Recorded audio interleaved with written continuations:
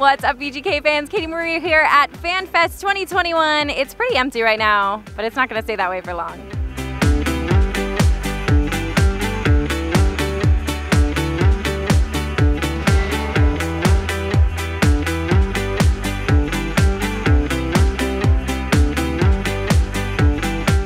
Yeah, it's awesome. I mean, every single year, you know, our fans are back. They're here. They're crazy, and um, you know, we all love it. We definitely feed off of it, and um, you know, we're, we're looking forward to being to being back in that building. Yeah, finally I get to be on this side of it. I mean, every time that we, we'd come to play here, I think I played here two or three times, you'd know you're coming to a crazy atmosphere with loud fans, um, almost like a playoff atmosphere mid-season. So to finally be on this side of it, it's, uh, it's pretty exciting.